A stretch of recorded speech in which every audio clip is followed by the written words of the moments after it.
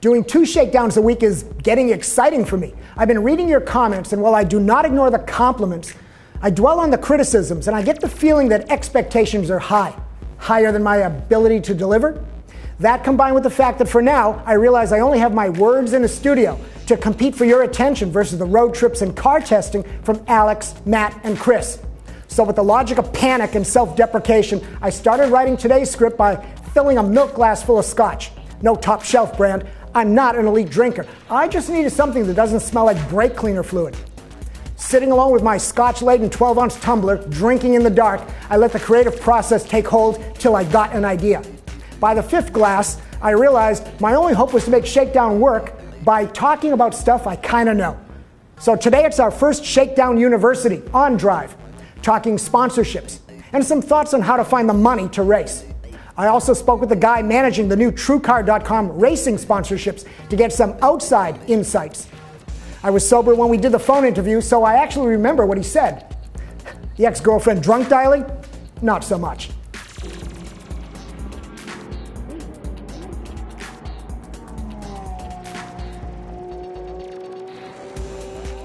This show is not the end all on selling sponsorship, just an overview to set your mind on a starting path.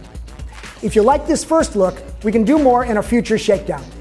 Today we'll discuss the following what you really are selling, why companies sponsor racing, who to target, what you need to do as a racer. That's the start. Here we go. Two lines I often say when doing the sponsorship sales thing are first, race cars don't run on gas, they run on cash. This is the hard ass fact. It is the first job of a racer to find the money. Second, sponsorship is really not about the car, driver, or racing. It's about the marketing. Racing provides the theme to do the marketing that a brand or product needs. The decision to spend money on you needs to make business sense for them. That justification gets you the cash. So, lesson one your first job is to convince a sponsor that the marketing they're going to do anyway is best served using racing as the theme. Let's introduce TrueCar.com right now and my conversation with Charles Kim, their motorsport director. Because one of the first things he said was racing makes your brand cool.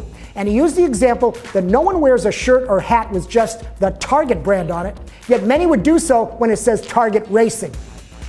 But racing is cool as a sponsor reason only works if there's a relevant fit between the personality of the brand, their customer audience, the product itself, and the passion of racing.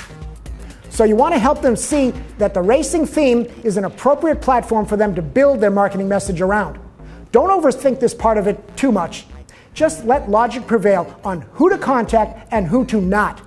Selling's a numbers game, but targeting will make it more efficient and less of a time waste.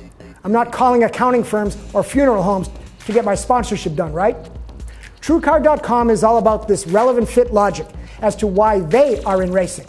The TrueCar business is to offer car pricing transparency to empower shoppers to get a better deal when buying.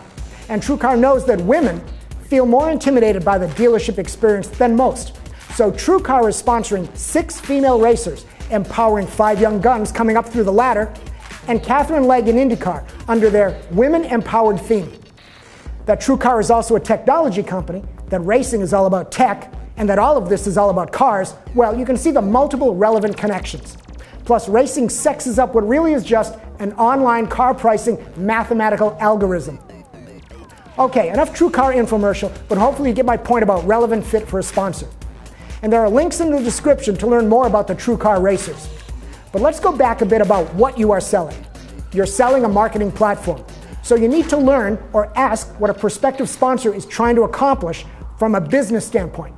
Yes, sell more stuff, but how? Make more people aware of the brand? Well, that's the Red Bull thing. Create a direct connection experience with customers? That's Penske's hospitality suites. Demonstrate a product? Falken Tire. Build loyalty? Tide Detergent still has NASCAR moms buying that stuff, even though they've left the series years ago. Remember, at this point, it ain't about the racing. It's the marketing activation and fit that the sponsor is buying. And we've also just answered the question why companies sponsor racing. To do those things I just mentioned. But it's not all marketing logic that gets a sponsor. You need to find someone in the company that actually has a passion for cars and racing. Let's be frank. Racing's expensive. It carries a ton of perception baggage. There are way, way, way, too many other marketing options easier to justify corporately. So, as Charles Kim from TrueCar admitted, it didn't hurt that CEO Scott Painter loves race cars. And it's why I'm struggling with a sponsor pitch right now because the car guy that was my inside champion is gone. And I'm left debating the program with a bunch of bean counters who take the subway to work. The sponsorship decision goes deeper than just passion, however. TrueCar Charles also spoke about the value proposition, ROI, return on investment. And you'll have to show that to justify your sponsorship fee. Let's get into those details another time, but for now, simply think what metrics will show the benefits coming back to the sponsor that are worth it for the cash going out to you? How many people will need to see your program? How many sales? How many subscriptions on their website? Which gets to another reality of sponsorship. Many deals more than you can imagine, have a business to business sales reason behind them. Penske was a Mobil 1 team, but now they're Shell Pennzoil team. Why? Penske got a better deal from Shell to be the lubricant supplier for his car dealerships, Penske Truck Leasing, Detroit Diesel, all of it. Infiniti Renault Red Bull is marketing and technical. Genii Capital on the Lotus F1 has a financial deal reason behind the side pod logo. Again, it's all about finding those connections and relevant fits. Let's finish up for today with what it is that you need to do as a racer to get sponsorship. Here's my list. And as it turns out, it's the same list as everything I learned from dating and being married. You'll see.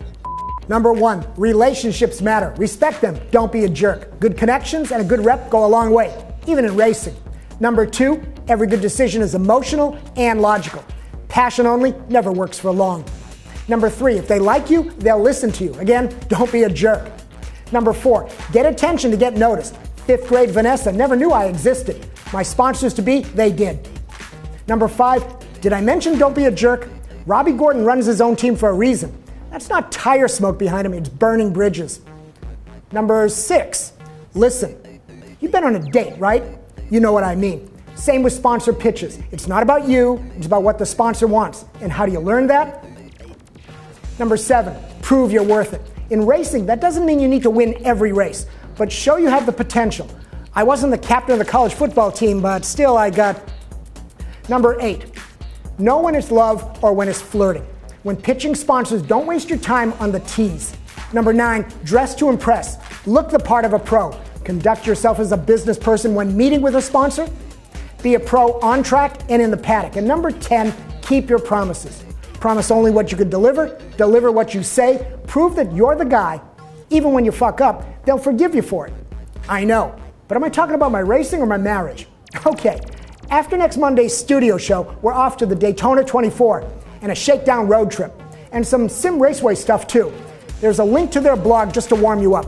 Plus, I got an idea for a shakedown auto racing live chat. Would you like to do that? Later.